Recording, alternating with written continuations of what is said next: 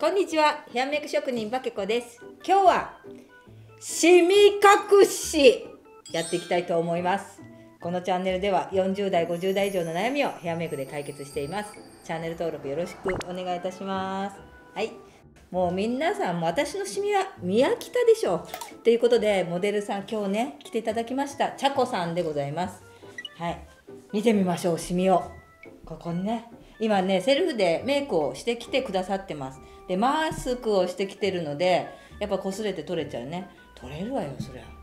私だって取れるよ。うん。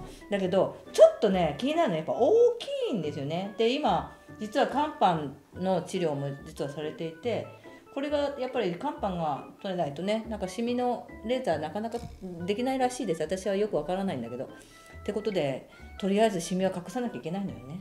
でなかなかね難しいね。わかるよ。で何を使ってるかというとフローレスフィット。でファンデーションは使わないでこちらアクセーヌ？の下地を使ってる。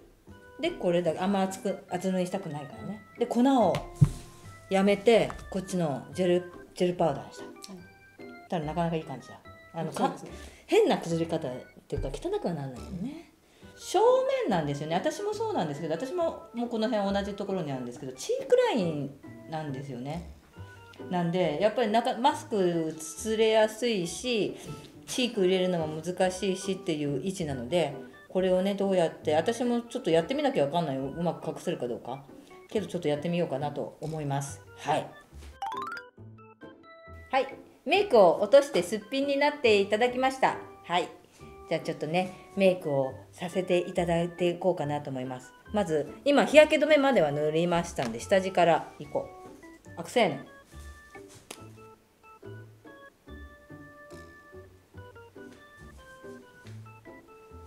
今下地塗りました。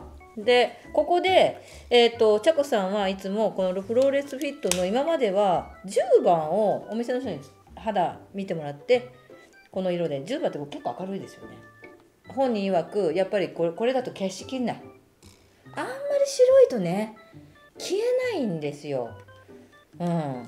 なんでやっぱりそで20番買った。20番でまだこれさサラ。サラなんでこれでちょっと一回消してみましょうかね。はい。意外にねフローレスフィットはスポンジでやるとなんかこうフィット感が出るんですよ。なんで私はフローレスフィットの場合にのみスポンジを使うことが多いんですが厚塗りにもなりやすいのでそこちょっと注意なんでここちょっと一回やってみるね。この場合はねはい。この場合はいつも私フラットに全体にって言うけどこの場合は立てます。ちょこっとつけます。ちょびっと。ちょっと置いてってみよう。で様子見ながら。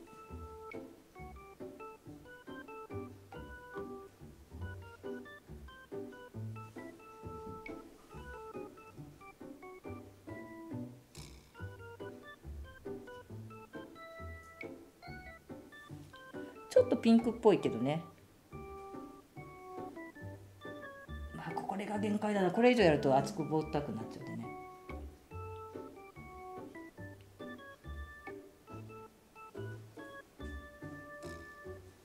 こんな感じかな。ちょっとここもちょっとちょっとね今日ね新製品を入手してきたからそれ試してみてもいいかしら？じゃじゃん。カバーマークなんだけど。ベーシックフォーミュラ5色買ってきたの。なんかこうやっぱねたまにいらっしゃるんですよ。大きくてちょっと黒めのシミ。で手強いややつのシミ。の人って結構いて。そういう人にもしかしたらねやっぱこれが最強なんじゃないかと思って。E の6と E の102番。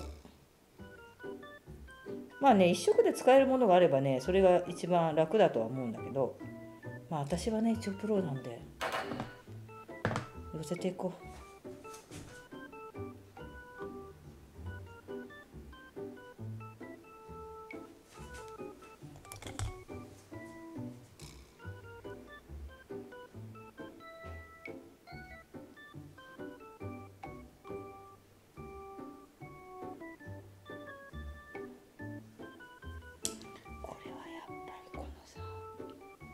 スポンジの方がいいんじゃね？このねっとりしてるんですよカバーマークって。このねっとりしてるこの質感はもしかしたら本当にスポンジの方がいいのかもしれない。もうちょっと白っぽい方がいいな。ちょっともうちょっと白くしたいんで E の2番を混ぜます。ピンク寄りに使ってます。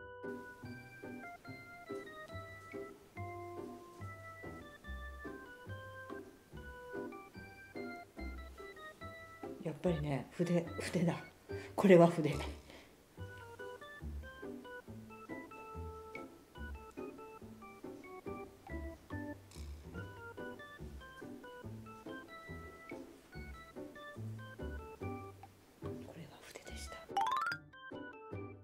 こんな感じかな。消えたんちゃうの？とりあえず。これで持つか持たないかはね。まあまあまあ。ちゃこさんいいこと言ったんですよ。こちらのね肌色に合わせたこのちょっと白っぽい色だと全然隠れなかったからこちらを買ったんですっておっしゃってたんです。これ本当正解。うん。やっぱ少しピンクっぽくってあの色味が少しあった方が消えやすいですシミは。これをね私もねベーシックフォーミュラを実は店頭で買う時にすごくカバー力がめちゃくちゃ高いのであのベースのねもう本当にこの普通の肌色これが標準色らしいんですよ。これを持っとけば大丈夫ですって言われたんですよ。だけど私はあのこれだと厚ぼったく隠れちゃうなと思ったんですよね。なのでこの辺の少しオレンジっぽいのとピンクっぽいのをプラスして買いました。そうするとまあ混ぜ方によって、えっと、消えやすくなったりするので。例えばちゃこさんが店頭に行ったら肌色に合わせて、えっと、見ていただいて選んでくださるのでそれの方がもし一般の人でね買う時はそういう風にした方がいいと思います。やっぱ私のサロンメンバー以前大きなシミがここにあった人がいてそれを見てもらった時に2色これをでやってからこっちの色を重ねてください。っていう風に言われてそうです。そういう風にやるとやっぱ消えやすくなると思うので是非そのようにやってみていただいたらいいんじゃないかなと思います。はい。では。バイバーイ。チャンネル登